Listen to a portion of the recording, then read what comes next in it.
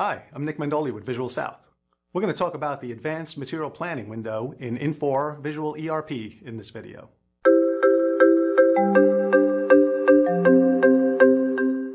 In this first section of the video, we're going to look at how we can mass release purchase orders and work orders from the Advanced Material Planning screen. Having the ability to mass release purchase orders and work orders is one of the key features of the Advanced Material Planning window. To see how that works, let's first compare it to the standard material planning window. So for that, I'm going to go right over to my material planning window. And typically in the standard view, what we would do is pull up a part number and see what it is that we need to plan. I'm going to use the search feature so I can find everything that the MRP run told me meets the criteria for planned orders. So down in the bottom, I'm just going to choose purchase orders, but I can choose fabricated also for this exercise. But I'm going to say just show me planned orders that I need to release maybe over the next 10 days. I'm going to hit search and I get a list here. If I start at the top of the list and just double click, load it on my screen, I can then see all of my demand, all of my supply, which in this case, my supply order is a bunch of purchase orders that are already out there, and then I have a few planned orders down toward the bottom. And typically in this window, to release those planned orders, I just highlight a planned order or, or multiple lines with planned orders on them, and I'm going to do my firm release planned order button. From here, it knows the vendor, knows when I want them, and I can firm or release it and place the order, and that will generate my purchase order. Same thing for work orders. So if this was a fabricated item, it would generate a work order instead of a purchase order. So that, compared to the advanced material planning window, I'm just going to change my view and say show advanced mode. And notice the difference in the view here is now we're looking at buckets of time. And I'm not calling them weekly buckets because I have the ability as the user to define what size buckets I want to see. So I can see uh, weekly buckets, monthly buckets, yearly buckets, daily buckets. Uh, it all depends on how I define my calendar, and I can have multiple calendars because maybe I want to, you know, go back and forth and see it, you know, different ways. And I can mix and match, um, which you'll see later on in this demonstration where I'm using the first month in weekly buckets, and then I switch to bi-weekly buckets, and then I go to monthly buckets toward the end of the, the list. So the difference here is rather than looking at a part by part or searching for parts, which I can still do and still release planned orders one at a time if I want. Uh, but the nice thing about this is now I have the ability to say, just look at a specific bucket. I'll start with 129 because that's the current bucket we're looking at. And I'm just going to select a couple of buckets into the future. So really, I'm telling the system, go ahead and find all of those planned orders where the release date falls within these time buckets. And that's all I need. I don't need to go any further than that because if it's further out there for a release date, it means I don't need to do anything with it. Uh, realistically, in a perfect world, I would only select this week's buckets and release what the system is telling me I need to release now. So by selecting those buckets, I can now come up and click the same firm release planned order, and I'm going to get this new window. I'm just going to expand that. And it's going to show me a list of everything that falls within those timeframes. So my release dates in this case is most of them are on 130. I have some 2.5s, some 2.12s, and so on. Uh, but this is really showing me everything that I need from a purchasing standpoint. And actually, this is showing me both when it first opens, both purchased items and uh, fabricated items. So once it does open, I can, you know, if I am the purchasing person, I say just choose purchased. I only want to see my purchased item, not all my planner's parts. So once I do that, I also have the ability now to filter even further, whether I'm doing it by product code, commodity code, uh, planner or buyer, if you're using IDs for those, for the different items. I can also say what kind of purchase order number generation do I want. I'm just going to use the next sequence, which is the most common thing, but I can tell it to use the want date with the part ID as part of that purchase order number for some folks that would like to do that. Uh, my purchase order rules. Do I want to consolidate by vendor? Meaning if I have multiple items that go to the same vendor on here, if I choose all of those, automatically put them all on the same purchase order. Otherwise, I can choose single part per order, which will create a separate purchase order for each part, even if it's going to the same vendor. Obviously, this is the uh, beneficial way to do it with consolidating by vendors because you eliminate the number of purchase orders that you're creating. Purchase order line item rules. Do you want delivery schedules? In other words, if the same item is requested multiple times, uh, do I want to put one line item for that particular part number with the total quantity on it, and then also create delivery schedules to break out the different deliveries if there's different need dates. If I just want to make separate lines on the purchase order instead of delivery dates, I can do that also. So choose how you want it, and then the all you would do is look at what you need and what you want to release in the list. You can pick and choose by holding the control key down. And maybe there's one that you're not going to buy right now, so I'll just skip some and choose the ones I want. I can see who the vendor is. I can see the vendor's name. I could also see some planning information to make my decision a little bit easier. Maybe I'm below safety stock and that's why I'm needing this as opposed to uh, demand. Choose what I want and then just say order and when I click order, that's going to generate purchase orders. It also recognizes if I don't have a, if I selected a line that doesn't have a vendor, which I've selected quite a few that don't have vendors. So it would want me to select the vendor from the list before continuing to place those purchase orders. Okay. And it will let me go through. It'll just leave those on the list for me to fix, but it will create the purchase orders for everything else that did have vendors associated with it. Again, same thing for work orders. So if I choose fabricated instead of purchased, now I'm looking at work orders. I can do the same thing where I can combine similar part numbers. So now I can use the next number. I can consolidate work order quantity. So rather than creating three different work orders, I'm going to consolidate the three that are needed on, I have two actually needed on the same day in, in my demo environment, and one due uh, on an earlier date, but it would combine them into one work order with that earlier want date being the due date. Same thing, consolidate. I can choose those three and say order. It'll create a work order. In this case, it's going to be one order and lets me know it firmed them and drops them off my list. So this whole page becomes a to-do list, both for purchasing and for uh, releasing planned work orders to the floor. Now let's take a look at how we can handle forecasting and master scheduling using demand fences with the Advanced Material Planning window. To demonstrate this, we want to start off with part maintenance just to show how a master scheduled part is set up. In this case, I'm using this MMT 1996 DM in our planning tab.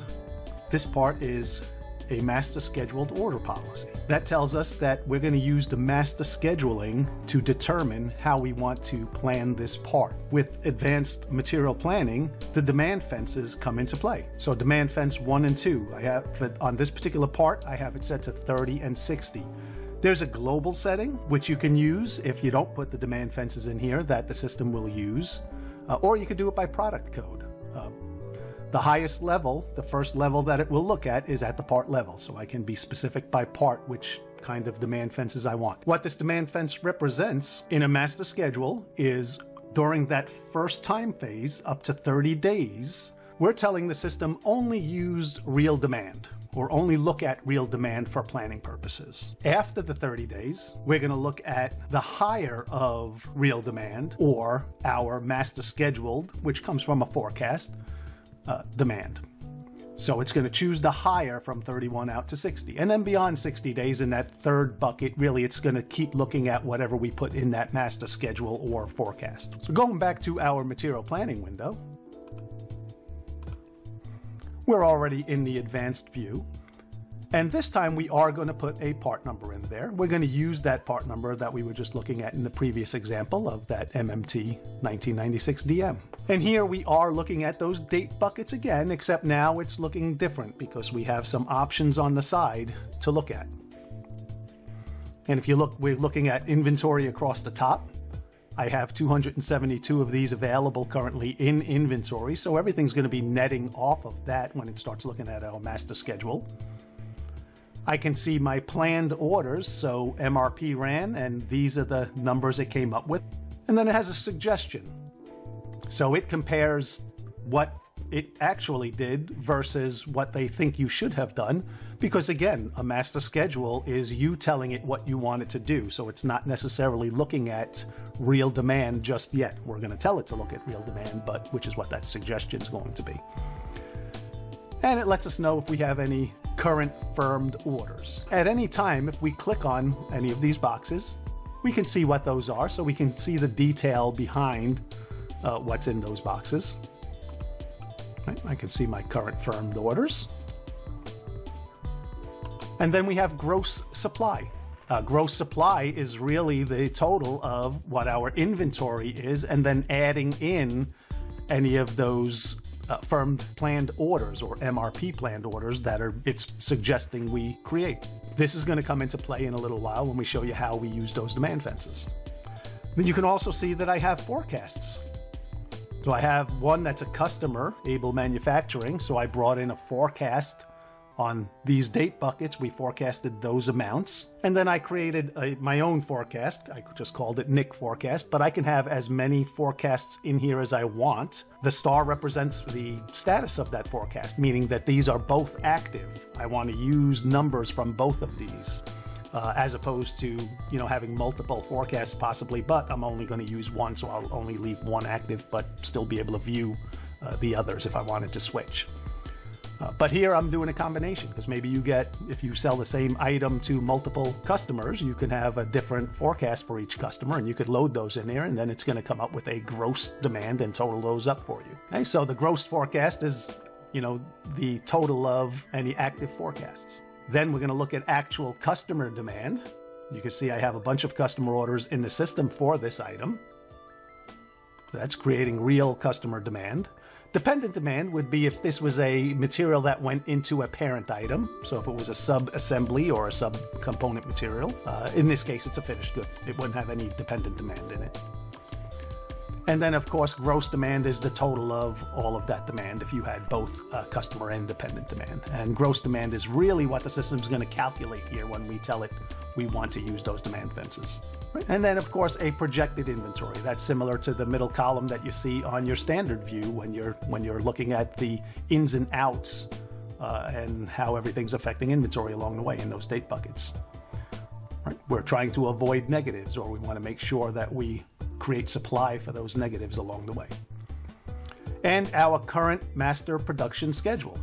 This is what is everything is really related to. So if I clicked on that, I can see what my current master schedule is, meaning these are the numbers that we told it we're going to want to make during all of these time buckets. When you first create a master schedule, it's usually uh, copied from a forecast. And then, of course, it's going to change within those demand fence windows because it was close to the forecast, but I really want to plan toward, you know, that real customer demand in the first 30 days and then the higher of the two in the next, you know, 30 days after that and so on, depending on how you set those demand fences up. The ability to load a forecast. This is one of the functions of the advanced planning is I can come in and create a planning forecast. The nice thing about this is having the ability to export and import to Excel. So creating a forecast from the beginning is very easy because if I export it to Excel, I can choose either a range of parts or a range of product codes, uh, start and end date. So if I'm doing it based on last year, perhaps I would put 1-1-23 to, to 12-31-24 and tell it to look at all shipments and issues, all outgoing transactions. This way I could base my new forecast on that that would get exported to Excel. And then I can modify it all in Excel if I want to add 3% or, or change things, you know, accordingly in Excel. And then I can import it back in. I could take last year's numbers, modify them using Excel, which everybody knows, it's easy to use, uh, and import that back in to generate my forecast for the next year. And you can see I have those two forecasts with those numbers in here that I imported from, from Excel. Once those numbers are in, notice the color changes I have. I have black in everything in the past. So my current bucket, date bucket for today, which today is 130 2024, so it's beyond that 129 date, but my current date bucket is this February 5th, 2024. And then it goes out to 30 days because, again, I set my first demand fence to 30 days for this particular part. So those first 30 days are going to highlight in green, representing demand fence 1. Demand fence 2 is the next 30 days, which are highlighted in blue. And then beyond that is black again. That's that is considered the forecast zone. So it, it maintains that, that original master schedule copied from the forecast since things change, the reason we have those demand fences here is we have a forecast, we turned that into our master schedule, but you know, our real demand is not quite meeting that. So we want to make sure that we're uh, copying real demand in that first bucket. So the easy way to do that is to simply go back to our master production schedule.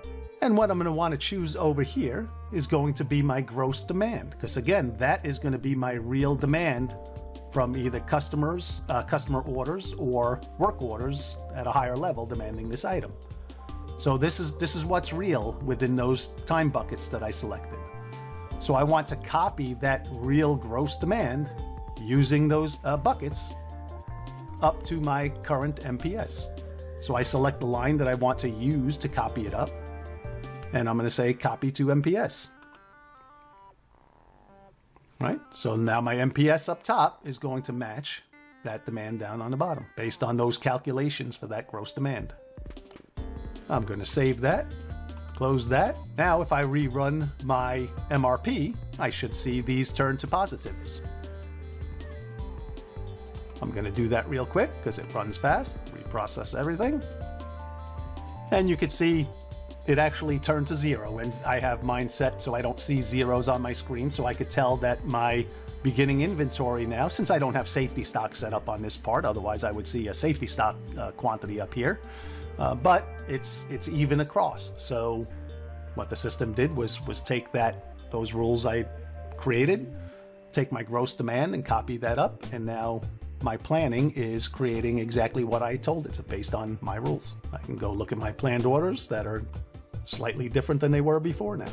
This was just a quick overview of what you can do with Visual's Advanced Material Planning window.